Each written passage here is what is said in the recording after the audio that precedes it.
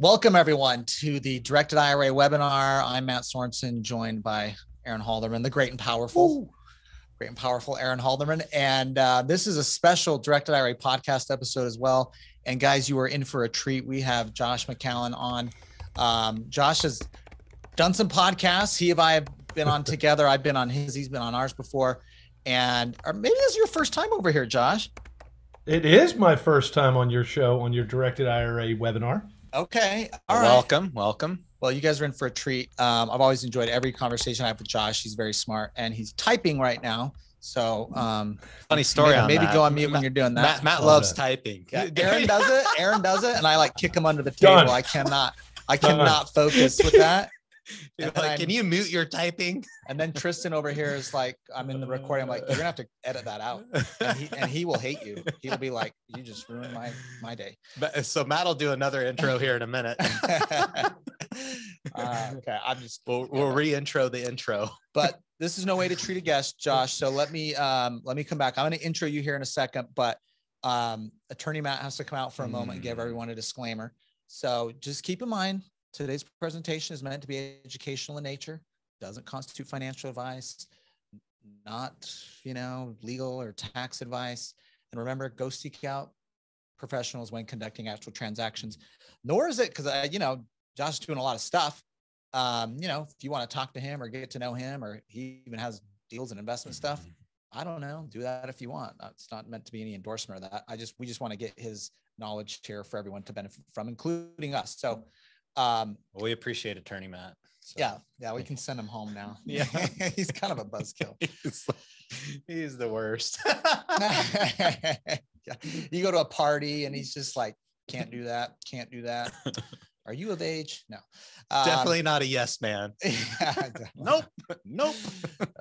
Um, okay. Well, um, Josh, let me let me intro mm. you here, and um, I'd like you to p- tell people a little bit about you. But Josh has a podcast, Capital Hacking Podcast. Um, he's been investing in distressed assets for quite a bit of time. I don't know, let you define that, and lots of different things, but cool things too, like wineries and golf courses. You know, he's just not buying the meth lab you know, fix some flip property down the street. You know, he's maybe on occasion. Just mean, sprinkle one in there. I don't know. You guys are the best. so I don't know. It's called diversification, Josh. That's right. That's right. Well, he's got a well diversified portfolio. Okay. Well, Josh, why don't you let why don't you tell everybody a little about you and um and then we're gonna turn it over to Josh to just kind of get in. I told him feel free to go into lecture mode. Aaron and I will interrupt some questions. Mm-hmm. We'll do mm-hmm. some Q and A. So, but um, so if you do have questions, particularly for Josh, um, throw those in in the Q and A. Um, and then, uh, but Josh, tell us a little bit about yourself. So it's an honor to be here. I uh, hope hope you can see. I'm in one of our beautiful hotel rooms. It's a suite. Uh, That's cool. It, it's one of the things we do. We build the, the nicest hotels on the East Coast for our purpose. Yeah. Uh, my quick background. I do have a few slides on it.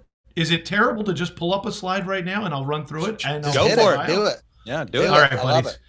Uh, this way, for those who are on the YouTube, great. If you're on the the drive, I always say, if you're driving your Tesla, we will get through mm. and we hmm. will speak to it. But for those who are watching, it's a big honor to be here, Mat, because I, I pulled up slide two, which is all of our times we've been together on the big airwaves at Capital oh, Hacking. I even put QR codes. Oh, yeah. You and I I think you and I have done it twice 156 plus 214. Yeah. And 146 with Mark. So we've had a great time. Oh, we'll have to update Mark's headshot because he's got like this long curly hair now. So he's, he looks he's, a lot more, yeah, he's a lot more distinguished. he's a lot more distinguished. He's due, he's due for a new episode with you, Josh. I would love it. That last time I was on with Mark, uh, he and I joked about how I had a friend who owned a, a great stand-up comedian uh, what one of those stages in Manhattan, and he's like, "If you could get me in there, I'm coming all the way to, to Cal- East Coast." Yeah, uh, over the last dozen plus years, I've been uh, I switched my career and went deep into hospitality, um, and over the last five years, I've been blessed by uh, attracting hundreds and hundreds of investors, actually well over 300 accredited investors, and they've allowed me and helped us create this wonderful bio. And the bio includes us running uh, our second major resort business and hospitality business with hundreds of people, uh, major projects, hundreds of millions of dollars invested. And uh, it's an honor. Um, but it all starts at home for me. I'm a father of 10 kids, uh, which I think I'm the first one on your show with 10 kids, believe it or not, right? I imagine. All natural, by the way. My poor, my poor wife had to bear all those children. Um, and we live out near Philadelphia.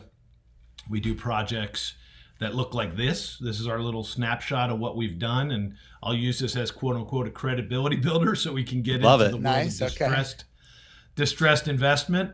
Uh, what we have only, I've only ever bought distress. So I think I'm set up, we are set up for a runway here into the next economy. Uh, you can see on the left, I built a business for a family office and a brand, and we took everything, what multiple times growth from purchase to uh, to appraisal, and now we've done it three times for investors, where we've done resorts. Uh, mostly, I like to focus on resorts because until the modern day, distress in my business in hospitality didn't necessarily mean the economy was going to hell. It just meant a, a property was run to hell. Sure. Run to Yeah. Yeah. That's a good distinction. Today, Yeah. yeah, today there's a new distinction coming, right? I mean, the economy might run a few properties into the ground, and we have an answer for that. Uh, we want to pose a few ideas. Uh, I'm sitting in the property in the dead middle. I'm in one of those windows. If you want to see, I'm in Kent Island outside of Annapolis, 200 acre resort with water front of a mile and a half. Beautiful. And what here's what we figured out years ago, and this is again the pivot point on why we think distressed assets are uh, a really important part of people's portfolio, maybe a section of people's portfolio.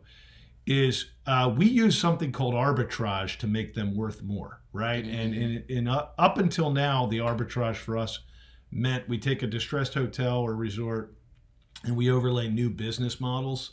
Uh, on the East Coast, we're one of the best in, at uh, uh, wedding operations. Hmm.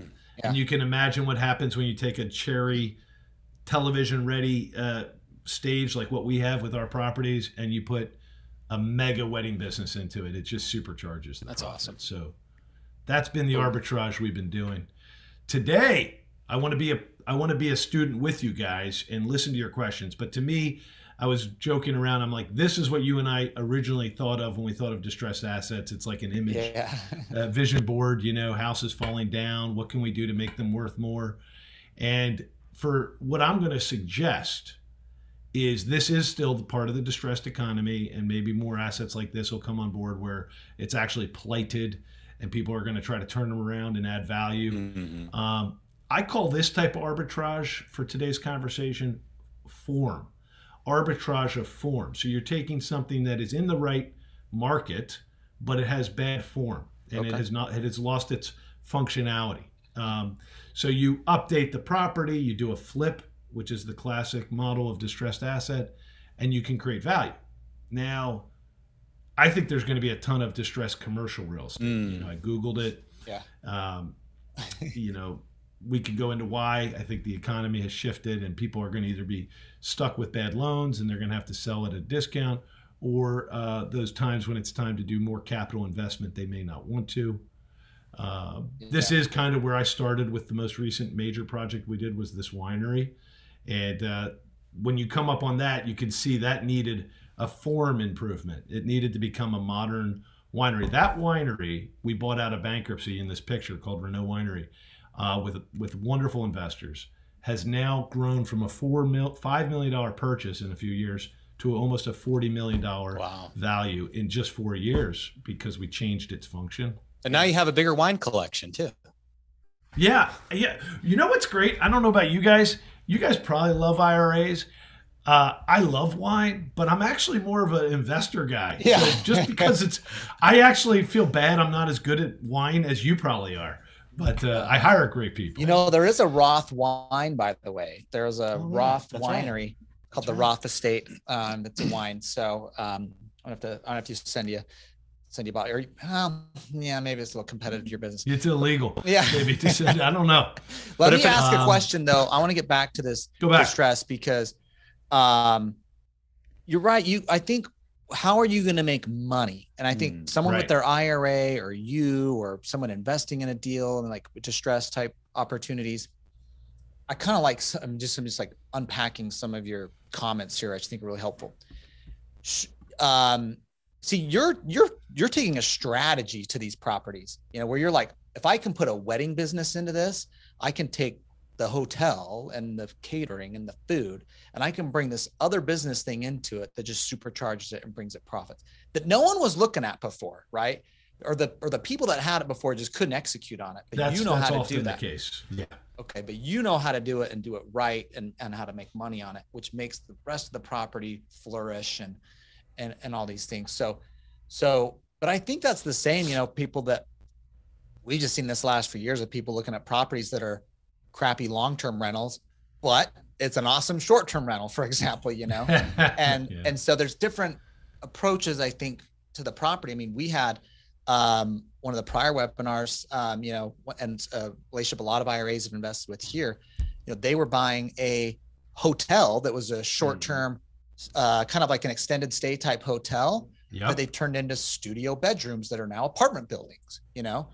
And so those things can be transformative and very profitable. I think um, it's not just repairing, you know, replacing the countertops and doing it the same thing someone was doing with it before. I mean, there could be ways to make money that way, but what do you think about it? Do you need to do something different in the Yeah. strategy of the property?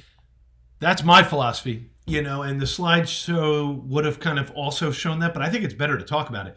You know, our premise uh, up until today's market was we were going to buy things from operators who had given up.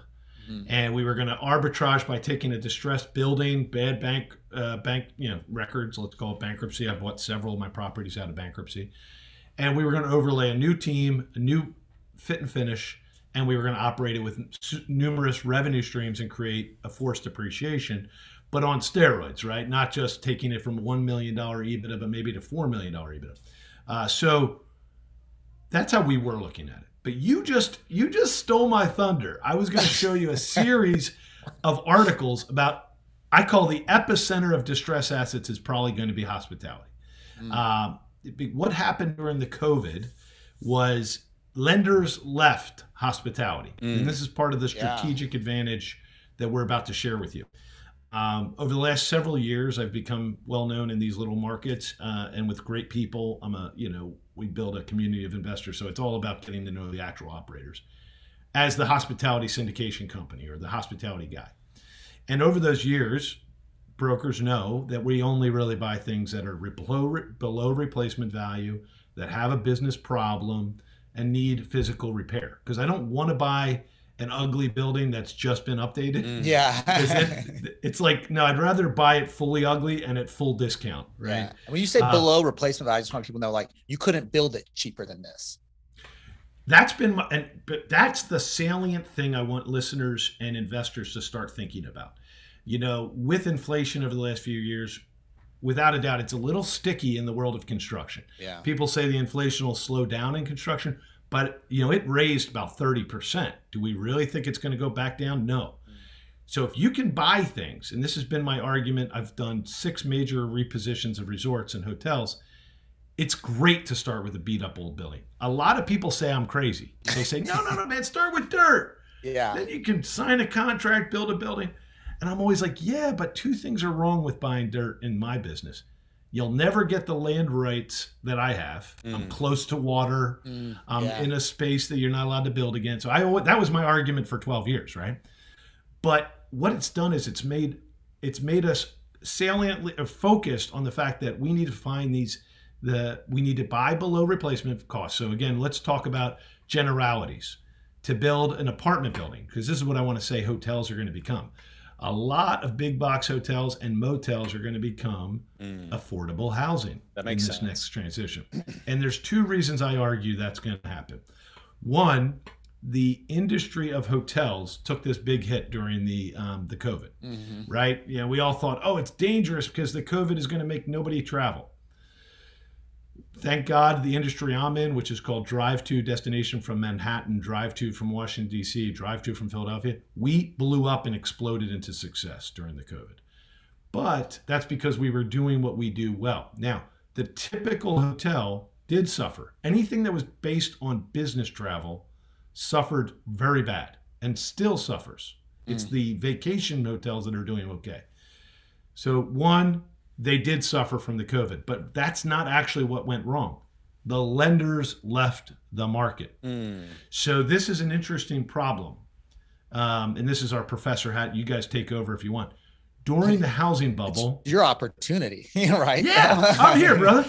Yeah. I'm here as your guest.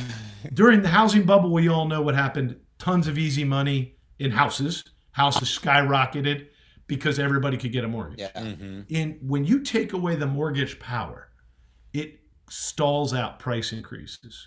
Yeah. And if you go to what I'm in, which is hospitality, we've had to we've had to way outperform the market to get debt.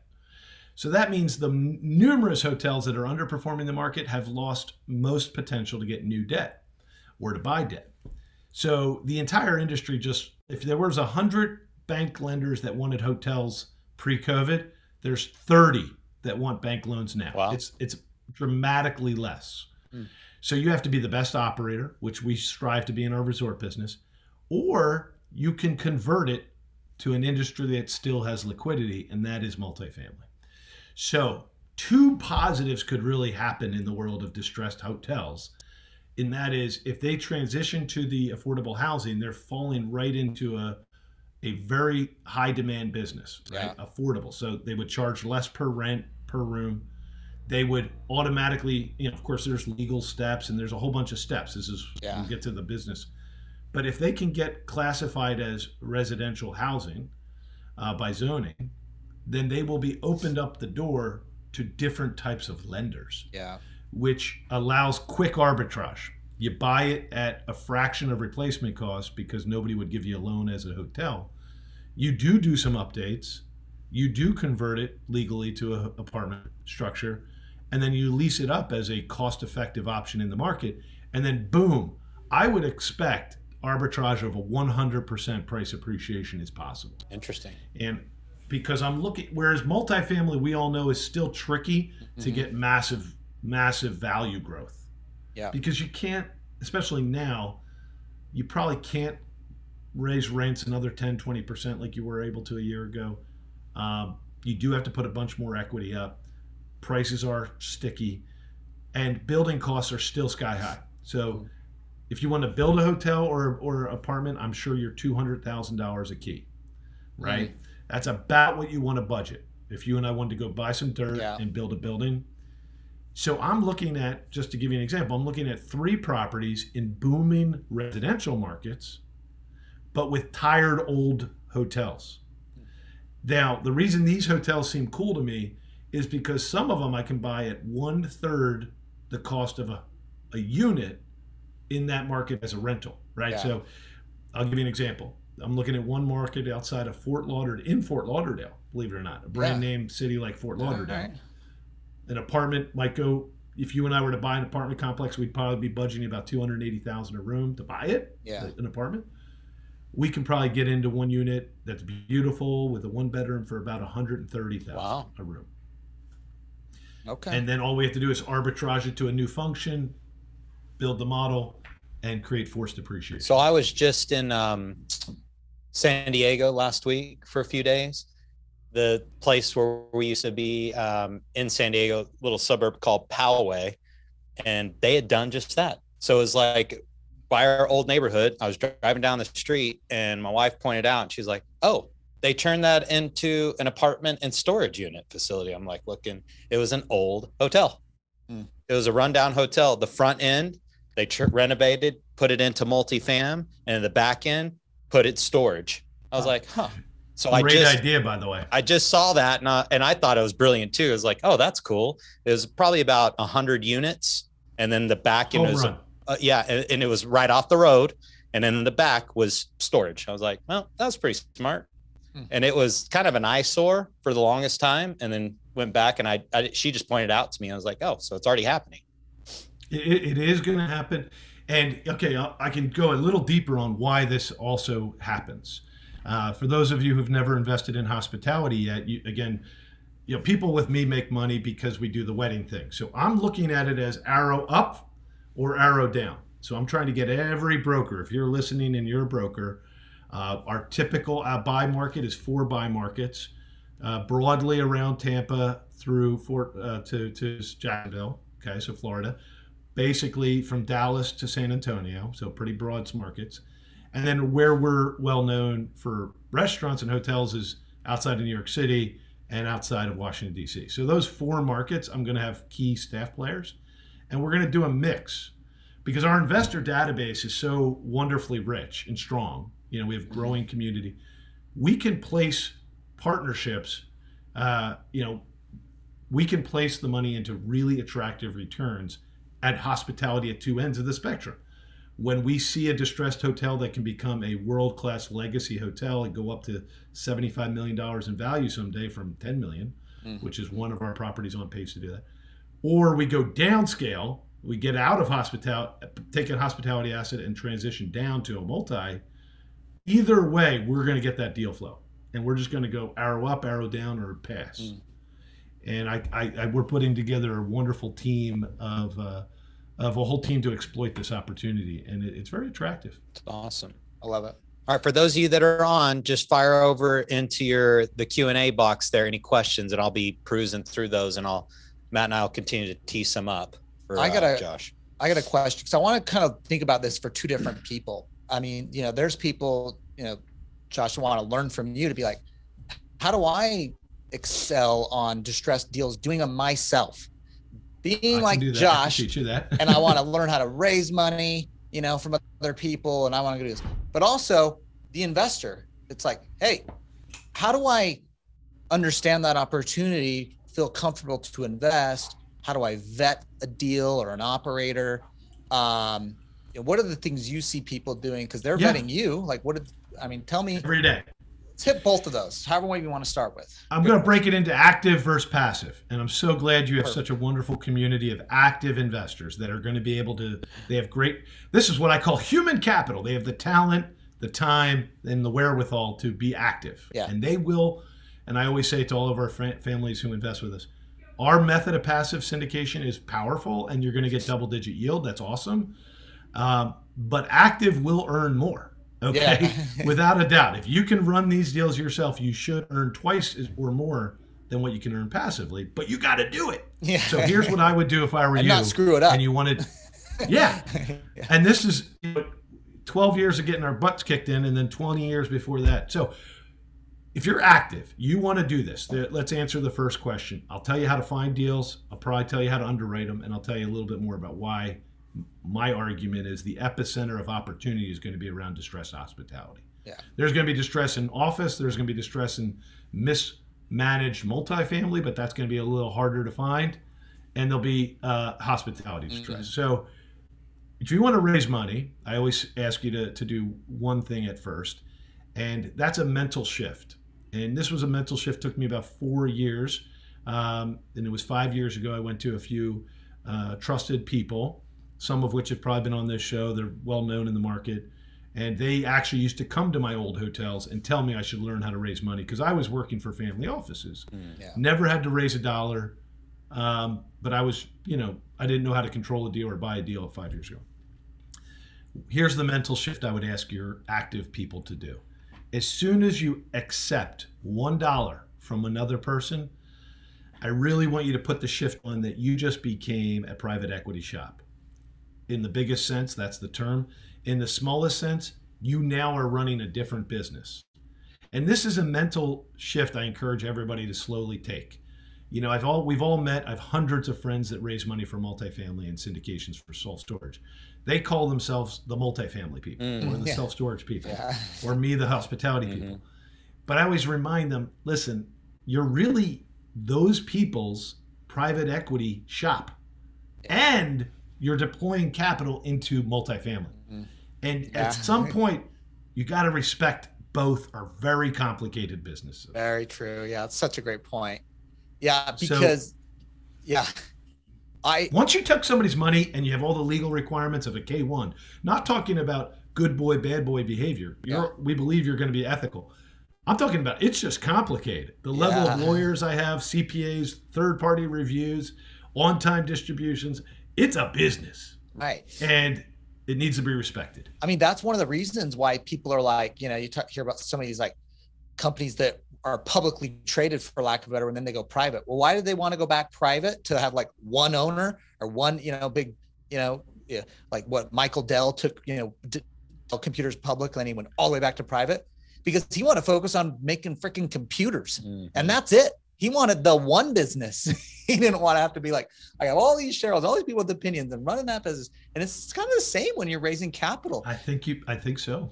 You're you're talking now to like you've. It does take some work, um, and uh, and, and some and some and sense. But of course, it's an opportunity of ways to raise capital that you couldn't do if you didn't have that. You know, we're not all. You know, I'm, we're not like some of you know these rich families that you know. Here's your ten million dollars, son. You know. I, I, will tell you something, uh, Mat. It's an honor to be here because what you've done and the team around Directed IRA is listen. You're you're opening people's minds to the fact that IRAs do not have to be trapped in the Wall Street casino. They yeah. can legally be placed into several different asset types. Yeah. Anything legally acceptable by the IRS code. That's already a mind bender for people. The second mind bender is that it's so tangible. I don't know if people give it enough credit the first time they realize when they put money in a note, right? Some they buy a note on a building that they know, it's extremely tangible. They know where that note went and what yeah. it's on, if it's small, okay, or what fix and flipper they gave the money to then you come to where we are, where we do projects that are hundreds of acres. Uh, you know, our staff at any one time is between 275 people and 500 people. And their money at Accountable Equity, what happened was they put a ton of people to work from bankrupt properties. Yeah. And we pay a living wage, and investors start to realize they're one step away from that. They made that possible. Mm-hmm. They're 100,000. So I love all that. So if you're going to raise money, Mrs. Smith, Mr. Smith, Billy Bob, Jenny Sue. All great investors. All strong investors. I and appreciate not leaving out Billy Bob and Jenny Sue. that was good. I love those two. Uh, the please best. recognize you've created you've created a new company. It needs its own mission and purpose because you're going to have to treat it as a company, and that's why we don't call our company the same thing we call the hotels. We call it accountable equity. Yeah. Um, number two, you can raise money slowly one good relationship at a time, I believe, is probably the right way for most of us listening to this today. And that's what we've been investing in hundreds of times where we put ourselves out there. And in the, in the, my advice to any of those who are going to become syndicators in any way, let people hear how you think, believe, your ethics and values, and what your strategy is, right? And just pers- don't even have to persuade. You're basically repelling the people that hate you already mm-hmm. and should not call you, right. and you're attracting the people into your life that understand your fe- feelings and philosophy on life, and they're the ones who are going to enjoy investing with you. Um, okay. So that's active. Okay, that's active. Now let's talk about self-directed IRA mm. investors, yep. some just their personal funds, and they're yep. like, okay, I, I like the opportunity here. Tell me like how how do I find these opportunities? How do I get comfortable with it? How do I vet an operator? Okay, so first thing I think that is phenomenal is what you do, uh, and this is an outgrowth of a lot of media that you do from podcasts and whatever. So, IRA Group, directed IRA, just in, invites conversations. Right, that's all this is. It's a conversation. Use these conversations to pick up one new determining factor that you want in an operator, right, or an allocator of your capital uh, realize, okay, I really like somebody who's great at analytics, and that person who was on sounded incredibly good at analytics. That attracts me. Or maybe you find somebody who's on one of these that that's an active person like us, and you you really uh, attracted to their their belief in the structure, uh, uh, the dignity of people, which is our whole business is based on treating people with uh, infinite dignity. So we're really focused on operations. We're operators at heart. And then other people are really good at placing money and pulling it back out all the time. And that's not us, right? There's different types of people. Yeah. You know, the house flipper guy. We're not the house flipper guy. We're building mega cash flows. Um, you find what you like. Then you dig in. And this is another, uh, you dig in on other webinars or, you know, reading about them. Or yeah. uh, that's why you and I do podcasts, right? We, we want, yeah. we want to attract. Okay.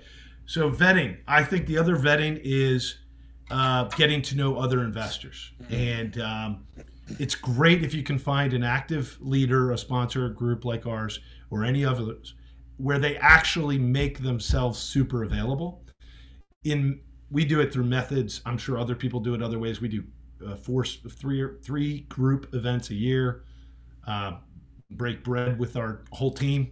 Okay, so there are a lot of other people that try that do what we try to do. Okay, so that's one really good way. I encourage investors that call me out of the blue, just heard of the concept. Uh, they have 50 grand burning a hole in their IRA. They don't want to be in Wall Street. I always encourage them to be be at peace. We're always going to be here. Ask me some tough questions and take some time. If you're ready to invest, we're ready. If if you're not, take your time. You know because it is a change. Whatever you thought you were doing in Wall Street, uh, you know, okay, that feels kind of cold and button pushing. But once you put money in capital groups like us, the positive and the negative is you know us. Mm. The negative is you, you know. the negative is you know us. Know us. right? The negative is, and this is the biggest thing anybody in the directed IRA space needs to remember. We're not liquid, right? The money went into dirt yeah. and a building yeah. and a business plan. And if the business plan says three to five years, it probably actually means three to five years. So it's a little tricky to pull it back out. So, mm-hmm. so back to the first principle, you're investing in the people that run that mm-hmm. that project more than the project specs. Anyway, those are my that's my little soapbox. Ask me any questions. What, what is typically you you you gave that fifty thousand dollar number and that's a, a question that we get a lot. And we've done previous webinars like you know how people can use a, a small balance or you know lower balance ira you know what kind of things can they invest in? What what is typically you find um, what are your minimums and what do you see people you know most successful thank you. um, doing? Like what does that look like for the investors out there well you know uh, i hope this is always our philosophy but our theory in life has been um, keep the minimums down. Um, and the, the, reason is is because we believe we're building a track record for a person or a family. So we have small note funds where we let you place capital right into our projects, collateralized at as little as ten thousand dollars. Okay. And it, it yields right away, and there is liquidity on those. And you can get it up to ten percent, but if you're investing smaller amounts, it is less. And we do it. We we we appreciate larger investments, so we offer higher preferences. Okay. But we want people to dabble, right? Because even if you dabble with 10,000, you're going to see how grow, how our communication works. You'll get to know us, and then you might feel comfortable higher amounts. Obviously, the average for us is about 75,000. Okay. So we're not we're not heavy weighted towards 10 grand. Uh, there's only one of our assets you're allowed to do that in. The rest are around 50. That's a unique approach. I like that. That's yeah. like a good. That's a different approach than probably what we've talked about with other people in the past on how they approach that and look at that. So that's good. Yeah, it's based, it's based, on this word community because you know what we think we're creating, similar to directed IRA and all the work we do. We think we're just going to pour ourselves into our community, let let our projects mature, and in the meantime, bring good people. Uh, we do keynote speakers. I'd love to have you guys come out yeah, and yeah. speak to our. Mat will do that. Yeah, it's a little trip for you, but yeah, yeah. He'll make he'll make the trip. I'll carry his bags. Yeah, I'll do it for you, Josh. I'll do it. Um, well, what about um, l- let me hit the strategy and and because I yeah, think this is important for when if I'm an investor and I'm looking at private investments, you know, I've talked about it, I've mentioned it before, you know, buying a stock or mutual fund, I feel like, you know, you're you're like in the grocery store or you're at the mall and it's like everything's on the rack and if the price is what it is and it's the same price at the next store and like, you know, and it and and and it's just what it is is what it is, you know. But like in alternative assets, like, well, what is the value of mm-hmm. this? And there's so much nuance to it. And can I trust this person? And and what's the strategy that they have? But so I think for me, looking at alternative assets, this is just Mat Sorensen for my own account, and um, I think as a, as a lawyer too, is I'm like I want to know the operator themselves. What is their track record? You know you, you can roll the dice on someone doing their very first deal. Sure. Maybe you know but like i wouldn't throw a lot of money at that. Mm-hmm. um but so look at track record. The best indication of how they're going to do on the next deal is how they do on their last ones. Um but also the really dig into the strategy. And this is where i thought josh from what you've talked about this opportunity in hospitality is so strong for what you're doing because not only are you making a pretty good argument to me in terms of the the opportunity there is you know what you're doing in that space. Right. You know what I mean? You, it, it's one thing to have a good idea. It's another thing to execute on it. Mhm. And that's like even you here today, you're giving people the idea. You- Some people are like, this guy's crazy. He's telling people everybody's doing. Mm. Why is he, everybody's just going to listen and just try and go what you're doing.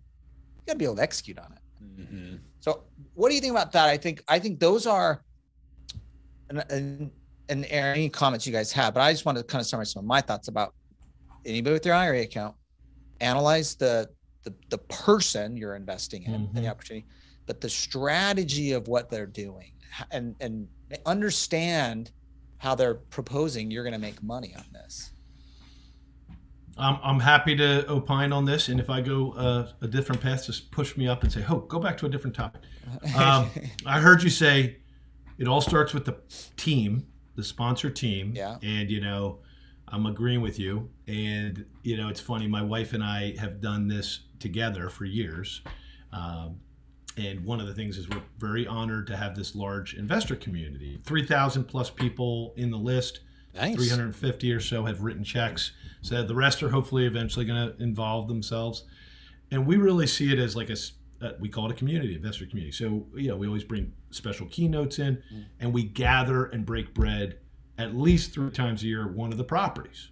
Okay. And our whole theory is at the tables, I try to spread out our team, the decision making team. And the theory is slowly but surely, more and more of the investors themselves will know the actual operators. What we always say from the, the stage is we're going to share with you our track record, we're going to share with you our decisions, why we made those choices. You, we're not going to be flawless, but you know, I think a lot of people fell in love with our group during the COVID. We had raised $11 million and we were turning around a dump that first property. I should show you the after pictures later. Mhm. We were turning it around. Actually, if you don't mind, I'll show it Yeah, to you. Yeah, let's throw that up there. Because I do have some uh, questions that came in on asset classes and cap rates and stuff. So we'll hit on that in a minute. Yeah, yeah. And you know what? Um, and for some reason I closed it. I don't know why that's not working. Anyway, while I try to figure that one out, give me a second. Sure. Yeah. Um, the COVID starts. We finally get the building turned around physically. Mhm. We have a whole book of business for weddings sold in advance, and the COVID starts five weeks after we finish the last ballroom construction project. Yikes. So it's February, March, uh, 2020. And I think everybody, I had one investor now who'll admit, I thought I just lost a 100 grand, right? I mean, all hell Yeah. broke loose. We ended up doing something. Um, we had spent four years living in Europe, my beautiful wife and I, when we were young. And we we were exposed to these winter villages. Remember, Yeah. we're in the Northeast. I love that London did it. has one in like Christmas or whatever. It's Mhm. amazing. Yeah, that's what we're famous for on the East Coast too.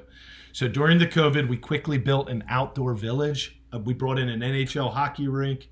We brought in vendors and musicians, and we're playing in the 30 degree temperatures outside with space heaters and fire pits. And it exploded. We made it in the Wall Street Journal during the COVID. We we exploded. We went from a bankrupt, dangerous business Mhm. to on the cover on a portion of the Wall Street Journal. Yeah. so the pivot. That was a great pivot. we had to pivot. And did we always succeed at that? No. We we decided uh, we built a few more parts to the village that didn't make money, but the other parts made millions of dollars. We're like, whoa. And more than that, we became famous. You know, quote unquote, the property is now well known. Mhm. It went from a bankrupt, forgotten property to a well known regional resort.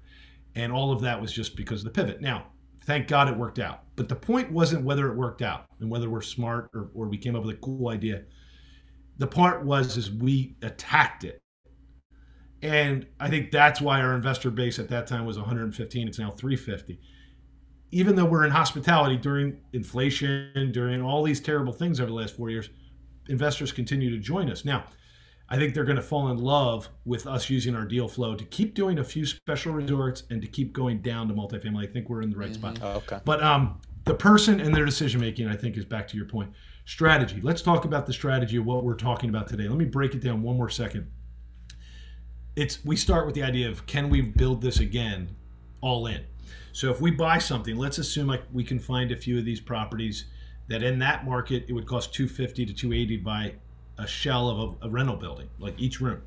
And we're buying it 130 and we're going to spend 30 on it. We're 160 in. Now we know once we turn it into a successful hotel uh, apartment building, we have a really strong basis compared to the next door neighbor. Mm-hmm. That gives us real strategic opportunity to be a low cost provider. Not that I ever love being a low cost provider. I always like being a value provider, but mm-hmm. it's nice to know you can be the lowest yeah. cost and still make more than the next guy. Yeah. and in a downward going economy, damn, that'll be a strength, right? That's a key yeah. strength where we build into our model. We do that now with our resorts. Like our resorts, the scale of our resorts, you know, some of them are going to do 25 million in a year. Nice. They went from doing 2 million a year to 25 million a year in 3 years. That's world-class numbers for most inland resorts. We're not talking about on Malibu Beach here. Yeah. We're talking a place in the middle of the, the woods. That's a world-class revenue number. Um, but we bought it and built it for about a third of what it would cost to build a hotel that can do 25 million a year. And I just love that. Mm-hmm. Our investors feel safe. So strategy, we're going to be focused on going in basis low. In this scenario, this strategy, we're going to go into being able to make money as the lowest cost provider in the market. And then uh, we are going to keep arbitra- uh, another arbitrage option, and that is because we run, I, I think right now we have uh, nine restaurants, 14 corporate meeting rooms, fifth, you know, five beautiful resort wedding venues. We we we operate a lot of high cash flow things. We could use portions of these buildings to overlay a different model mm-hmm. on what I call free real estate.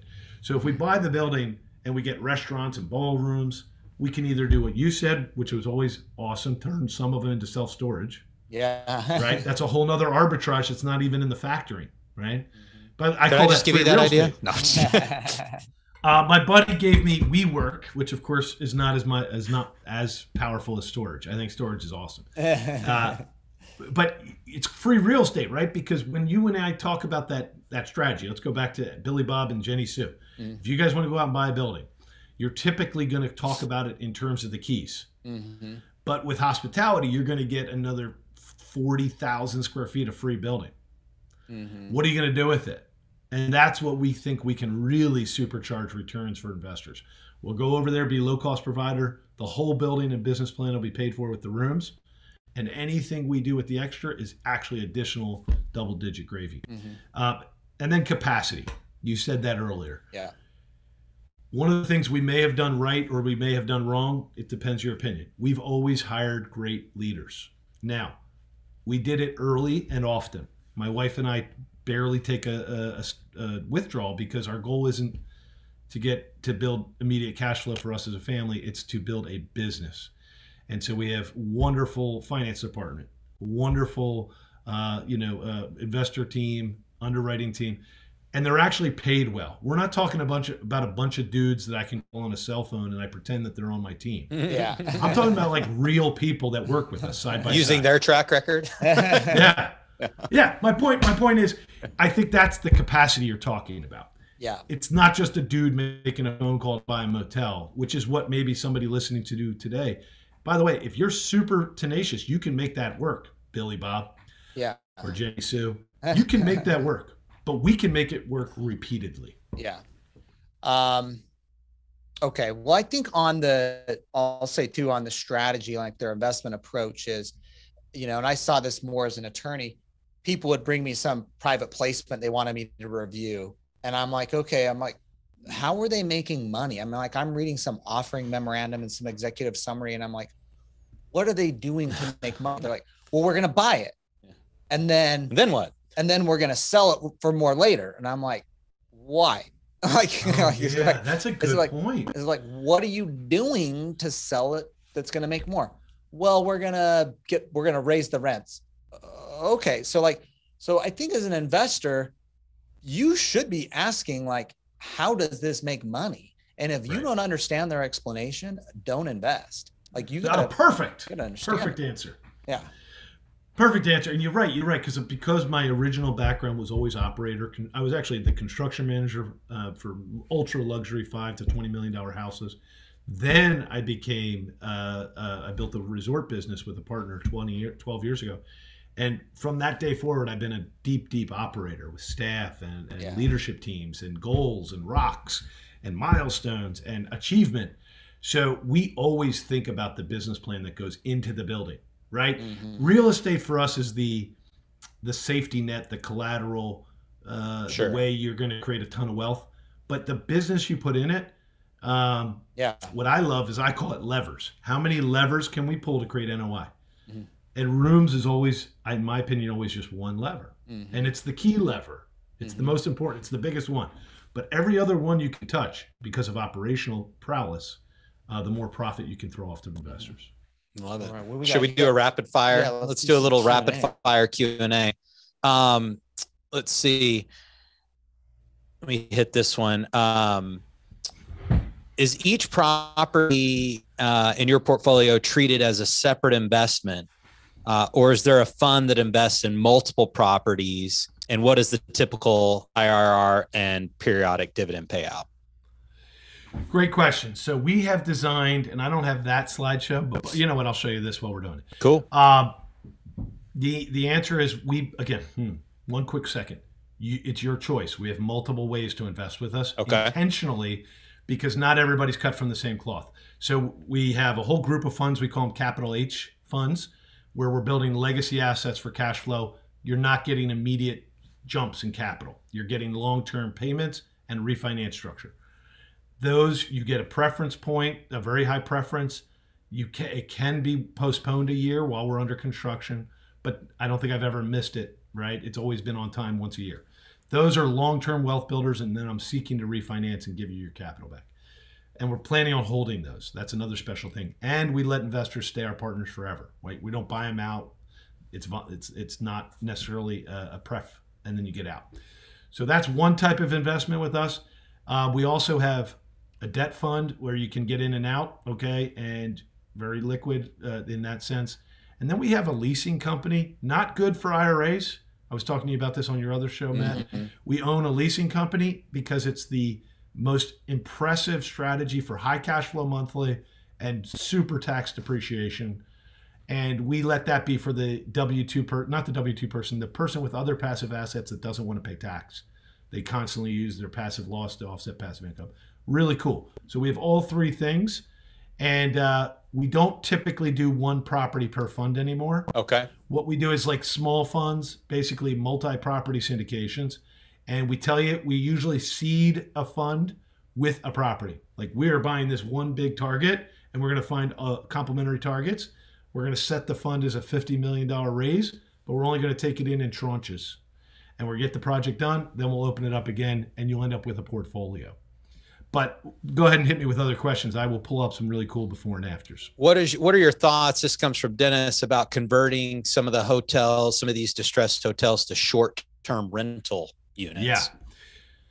Couldn't be better uh, when it's right. Now, there's a nuance here. Let's use a simple uh, assumption. One of the properties we're looking at is 200 apartments. Okay. Uh, they're they're actual suites, so they're built as a suite hotel, but they get kitchenettes, they get a living room, Yep. they get a bedroom. So it's going to be a nice little efficient flip into an apartment. I believe the key for me is leverage, right? So we're going to want affordable leverage. So we got to get it out of the uh, transient status with bank loans for, for hotel loans, and we got to get it over to multifamily. So there is a person that I work with, a real strategist. There's a nuance there. You don't want to do like even if you could rent 50% of them out in short term, you may not want to opt. That may not be optimal for debt structure. Mhm. And the debt structure is where the families who invested are going to probably get their biggest IRR, right? Whether it be a refi, get your money back, or cheap debt for higher cash flow. So we're going to strike a balance in our model where we're going to make sure we solidly fit within the criteria of Fannie Freddie. And then whatever we're allowed to do short term, we will, and we'll do. Bet- we'll probably do it better than all the other short term people because this is our business, and we drive about three times the average daily rate than our competitors at our hotels. So I'm sure we can do a great job on Airbnb with the rooms we're allowed to do that. Does that kind of make sense? Yep. Now, we're famous for major construction, by the way. So, construction, we own a, a very robust construction company, and we do true like repositions right now. There's some nice And, before and uh, afters. Yeah, yeah. Like legit, legit construction, Yeah. real transformation. Guess we need to host an event there, man. Yeah. Oh, definitely, guys. I will set you up like crazy. You will love it. we do need to But do keep it. going. Some out on the East Coast. Yeah. We need we we're always making them come out here. That'd be a cool venue too. Yeah. Yeah, honestly, it would be a treat. And, and we're really close to New York. Our average bride is Manhattan, even though we're in New Jersey, Yeah. and not far from DC. We're gonna check out the Winter Village. Yeah, Mat's funny, I don't have gonna any ice skate. He's gonna figure skate for us. I can't wait. Yeah you know my my family actually makes fun of me because i um i like to i like to go to the you know this the holiday the christmas you know with the village and do the little ice skating you know and um i get all like i don't know i just i get a little proud out there Yeah. i'm not a great skater but you know i like to get out and you know just i don't know why That's a good. That's a that good. one moment in my t- life when i do that is like not what i'm necessarily good at but i just like i just like getting out there and You ever see the show Blades of Glory? yeah. Will I'm, uh, Ferrell, Chazz, Will- Chazz Michael Will- Michaels. Yes. Dude, what was that? Uh, the bla- that one kick that kills people, cuts their heads off. oh The yeah. funniest- I forget the name. I don't know. I don't know. was- that it was a kick. It had a name. Don't do it. Don't Yes, do it. Don't, don't do the move. Yeah. It's awesome. Anyways, sorry guys. So this No, is our good. winter village. I'll, I'll show you a little bit Beautiful. around, uh, uh, and uh, I'll play the video for those who are watching. You'll be you'll blow it'll blow your mind. But keep going. Hit me with tough questions, Are you doing anything in the assisted living or memory care stuff? Like, what are your God bless you for asking. what are your thoughts on Um, that? you know, it, it- it's going to take me 30 seconds, but our Go whole purpose in life was to create something called Viva May culture. Now, Viva May culture is something I've been part of for 12 years. It's the concept that service delivered with intentionality to treat someone so they know they are loved. It's a very human dignity kind of service we create, we foster. It has a vertical stack of, of places we want to place this structure. So Viva May Hospitality is our day-to-day hospitality management company. Okay. It's also the engine that has all the great executive staff, uh, anywhere from seven executive chefs at any time. And we have chefs, we have construction operators. It's a mega engine of operators. And it's built on three virtues joy of service, humility as a strength. We seek humility, and ministry as our purpose. And ministry is bigger than just like a religious concept of ministry. It's the primordial sense that when you deliver a service for the intention of showing the other person genuine care and love, it has a soulful impact. That type of hospitality management, which is what we're famous for, definitely will eventually lend itself to memory care, but I don't see that in the next five years. For right now, we're going to solidly do, um, and I've been investigating that for four years, but for right now, we do it sequentially. We're very good at these highly activated experiential resorts. We'll never stop that. I've looked at ranches, hundreds and hundreds of acres of ranches in Austin. Mhm. Um, I had three under contract at one point, and these places where I can do mega weddings, land bank hundreds of acres, and build and build houses. That's kind of like our core business. Um, using our prowess and our expertise in, in hospitality to buy these conversions to multifamily is is just a very straightforward next step of adding asset classes to our investor community. But there you go. That's what it looks like, Mat. Love it. It's beautiful. That's cool. Um, so just to kind of um, recap, as far as your focus, taking that distressed hospitality, converting it into affordable housing, multifamilies, you seeing, um, you know, a great strategy in play there. Maybe adding in some self storage. W- having said that, what are you seeing as like the highest returns or you know best cap rates? I've had several people ask that Okay. kind of out of those three asset classes. Um, I think you're when you said self storage, you mean as a tangential asset in the building, correct? Yeah, I'm not oh, going to probably be building. Prob yeah, you're probably not converting the whole thing to No. that. That just wouldn't make sense. Right. Yeah. So what I will do, and this has been the case with all of our properties, like all of the properties you saw, all came with mega land development potential. And I always Okay. great news. That's a great news story. I call it. Yeah. It ain't happening in your pro forma. It's not even in the pro forma. Same thing will be the case for all those extra square footage. Remember we were talking Yep. about. So anything we do with self storage probably won't even be in the pro forma. Anything we do with other rentals won't be in the pro forma. Just the rooms. It'll all be gravy, and it'll be owned by the investors. It's not like partitioned out. We don't do anything nefarious or weird. We everybody owns the whole project. Okay. Love it. Um, a few people have gone to your website. They're looking at you know some of the debt opportunities around six to ten percent uh, preferred return with liquidity. Um, you mentioned you have some other uh, projects with you know double digit type returns? Like what what are those projects look like? Well, there. By the way, is your audience like this good? They've already done research. Yeah, they're on it. Hey, man. They're like, these are these are active investors, doers. These aren't like, I mean, I'd say probably So- maybe twenty percent or maybe new-ish checking out, but So they're when they're researching live. yeah. Yeah. So when Mat invited me to do this show, I said, absolutely, we'll do this. But I kind of pictured it'd be a month from now because by the March 1st, Yeah. we will be launching three new equity funds, which will probably blow people's minds. It'll be like 15 minute, 15 IRR to 20 IRR based on this conversion strategy. What you're seeing today is my every day of the year you could put a little bit of money in our our um, um, our debt fund. Now, our debt fund is clearly not the lowest end of that preference is for the people that want to be able to get in and out and Sure. sit there. Clearly, when I set it up six months ago, that was a pretty good number. Now it's getting tight because of all the inflation of, of rates. Our equity funds usually start between 8 to 10% pref and full distributions forever. You know, you get your pref back after you get your capital back, then we go to participation splits forever. Mm-hmm. So they're very high. They're usually they tend to model in the 20% IRR, and I usually back them down and offer them at the 15% IRR. And that's just because of arbitrage. We're not your plain vanilla investor that just does the old we'll raise the rent strategy. Right. Little We value add here. transform the rent. Yeah. We transform the rent. Love it. Do you have some good? We I just was like, I was like, there we go. I'm gonna harmonize I that a little bit. well, you know, we got some good voices going on here.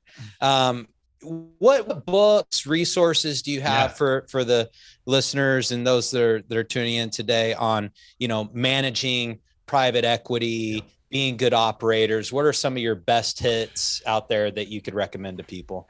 Yeah, two well, two things. One, I thought you were going to ask what can you get from us right this second. I believe we That have too. two You downloads. do that too. You, you two do that too. Downloads. Two downloads. Uh, you can grab. You can grab. My wife and I wrote a book, The Ten Steps to Resort Perfect. Rehab Riches, uh, and that was written pre-pandemic. But uh, you'll see the premise of why our we succeeded during the pandemic. We're on pace to grow EBITDA 100% during this year because our model does pre-sell the building. So we're sold Mhm. out. It's hard to get a room in this for about a year. So the other things that I think guide our philosophy are uh, structured business books. And the reason I say that is Mm. because we see the placement of capital, which is what I think you were asking me Yep. how to run a great capital allocation company. Yep. We do see that as one of the key functions of running great businesses. So for me, it all began 12, 15 years ago when I started building companies for a private office, a family office. I built many companies and I read the E Myth a hundred, like t- half a dozen oh, times. Oh, Michael Gerber's E Myth. Yep. Michael Gerber Yeah. helped me get my head straight. Love it. He's a Then- great man. And if, since then, I've probably read everything from Patrick Lencioni. I hope to Okay. have him on my podcast about the strength in organizational health. And we're not flawless, we're not perfect, but we drive to maximize that personal human capital in our company. So we're big Patrick Lencioni people, and if you want to understand the way we do business, that would be a good read. And then, of course, um, EOS, but we don't use the EOS. We use a version of it uh, where you really keep track of milestones and you you run a proper company with proper scheduled uh, deliverables. Love it. We're going through scaling up by the Gazelles Yep, company that's a great one. internally. So that's what we're doing Yeah. internally. Um, uh, let, let's hit on this and then we'll just kind of wrap it up. Um, what do you see as opportunities out- out there with a lot of other commercial type buildings? Like, you know, you have uh, like City Corp a- as an example that somebody put in here, but you got these office complexes that have just been empty for three years. They're going to stay empty. You know, some of them have guaranteed leases on them. Probably a lot of them do. They might have a childcare facility attached to it because that's what a lot of those type, you know, so they already have infrastructure. Do you see an opportunity there for like um, turning those into affordable housing, or do you not think it? You know, what, what are your thoughts on that? What do you see as an opportunity? I've watched it. I've watched it. Um, last conference I spoke at was uh, the Richard Wilson's Family Office. Oh, uh, yes. Yep. conference. He's a, Okay. he's an a- he's an actual investor in some of our not only investor, he's a partner on two of our funds, Mhm. and uh, he and I collaborate on a lot of projects. So he, um, one of the panelists we got to serve with was a person who was sharing with all about the fact that um, now this was a luxury conversion, but they converted a whole office building into luxury re- resort Okay. uh, a hotel. I was surprised by that. It was the first time I've ever been open to it. So no, do I know much about the conversion of offices to to uh, any kind of residential? I don't. I will tell you, self-evidently, it's it's going to be a very costly conversion. Sure. it's self-evident Yeah. because you don't have the common infrastructure. So when we're looking at, in contrast, when we're looking at a, we're looking at extended stays to affordable housing. We're looking at suites, mega suites that used to be embassy suites hotels, which are kind of nice properties, right? Uh, they've kind of run their life span. Yeah. I wanted to say one other reason that your investors may not realize this, but they'll know it intuitively because we all travel. Hotels have a five-year mandatory reinvestment if you want to keep the brand Marriott, Hilton. oh yeah, to keep the flag. Yeah. Yep. During the COVID, they got tons of extensions. They're all coming due, Ooh. and they're coming due during a time when there's no lending money, Yeah. deep lending money to help them. Interesting. So there's going to be buildings that are just functionally obsolete and don't want to do that mega PIP. They call it a PIP, a property improvement, and that's where the distress is going to happen. Interesting. They may not be terrible buildings; they're just not new Marriott standard. Yeah. So it, it may not be dumps over the next few years. Yeah. And we're going to be damn straight right in the middle of all the brokers showing us the deals. It's It's awesome. nice. I mean, they're gonna be just a little more motivated to sell now than they might That's right. otherwise be. There's a little reason now. Ooh, do I want to dump this more money in, or can I get it? Yeah. Maybe it's time to sell. And it's ungodly amounts of money too. It's not just like a few grand a room. It can be upwards Yeah. of 30,000 a room. And and their their complaint when you're a branded hotel operator is I don't think I'll get that money back, but I have to do it to keep the Marriott flag. So yeah, the pressure is coming. Yeah. I love it.